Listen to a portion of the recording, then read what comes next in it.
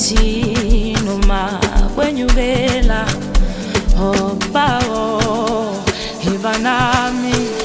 Ongiswa izwi likamona ngwele limemesa njalo.